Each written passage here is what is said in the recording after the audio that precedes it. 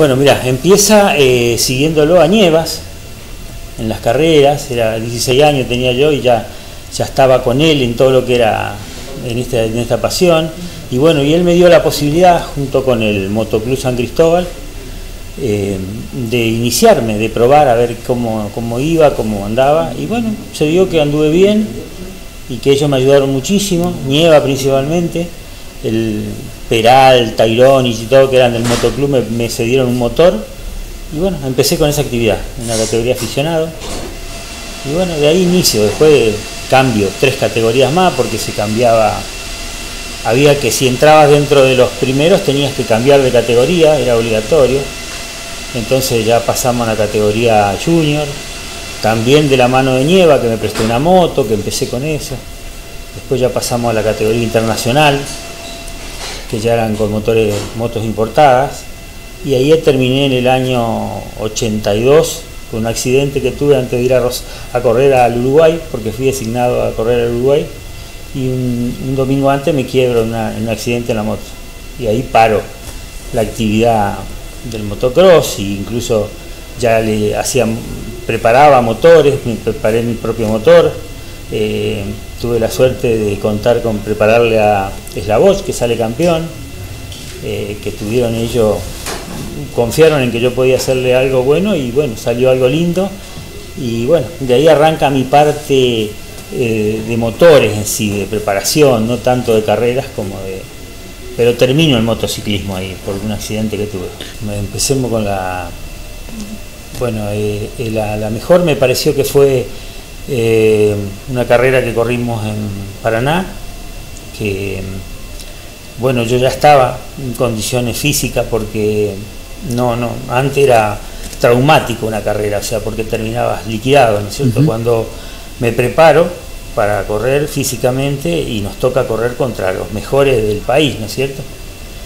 Y bueno, gané esa carrera y eh, con mucha satisfacción porque eran tres mangas de 20 minutos y normalmente cuando terminaba la primera manga ya estaba destruido yo y esto llegué a la tercera manga y estaba nuevo, nuevo para competir contra todos los mejores, ¿viste? que venían de todos lados con motos impresionantemente, o sea, un nivel terrible y ir a ganarle fue para mí lo mejor que me pudo pasar. ¿va?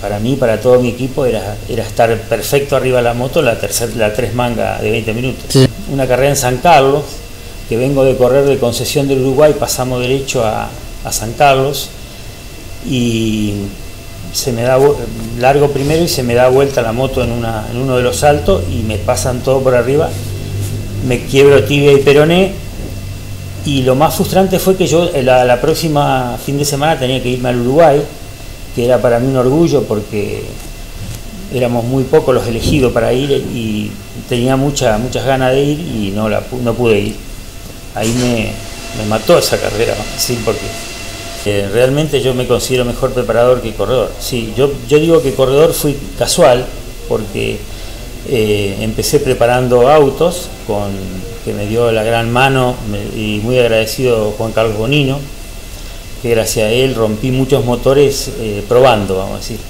Siempre sobraba un auto y ese auto lo corría yo, o sea, mira, sí, yo creo que sí, hay, hay autos, hay eh, hasta ahora tenemos eh, dos autos en el galpón, tenemos una Coupe Chevy que, es nueva, que no se corrió, de, de, 4000 argentino, y tenemos un R18 que no se estrenó. O sea, yo creo que hay, hay muchísimos trofeos, hay muchísimas cosas que no. Sí, tengo muchísimo para dejar. Y anécdotas, ¿no? Que ellos también que están creciendo a la par de, sus hijos, que, a su vez están, de sus padres, quiero decir, que a su vez están involucrado con todo esto. Yo creo que es una pasión muy importante, es, lo que te impulsa todos los días a vivir, me parece, a mí, ¿no? A mí principalmente. Estoy pensando siempre en un motor, estoy en una carrera, en, un, en qué hacer de nuevo, en qué, a quién darle un motor para que, para que pruebe, que empiece, que, que vea, ¿no es cierto?, que lo viva la pasión, porque es una pasión importantísima. Eh, bueno, me parece que es así el tema, ¿no?